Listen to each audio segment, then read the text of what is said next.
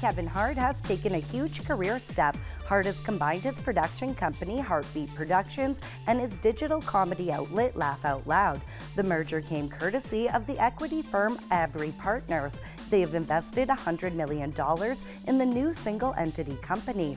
The company will operate as two divisions HartBeat Studios and HartBeat Media. And if you ever watched the 1997 film Buddy, you'll surely remember Tonka. Tonka was just a baby chimpanzee at the time of Buddy. Apparently, he eventually ended up at a Missouri breeding facility, and attempts to find him have been unsuccessful.